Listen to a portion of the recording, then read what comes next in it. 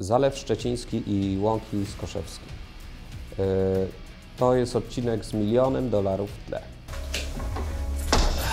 A co to? Trochę waży, widzę. Ale się chłopie postarał. Misja Natura. Na tym zalewie przebiega polityczna granica między Polską a Niemcami. Orzeł Bielik. Ale Bielik to nie orzeł.